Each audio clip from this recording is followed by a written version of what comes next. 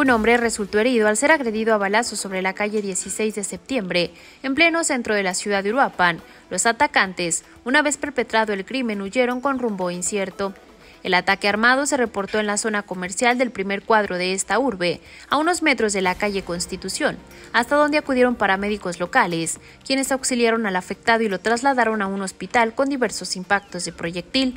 Policías municipales llegaron a la zona, pero ya los hechores habían huido y únicamente acordonaron para que más tarde los integrantes de la Fiscalía Regional recabaran datos y testimonios para integrar la carpeta de investigación respectiva, sin que fuera revelada la identidad del herido informó para Red 113 Luzma Cervantes.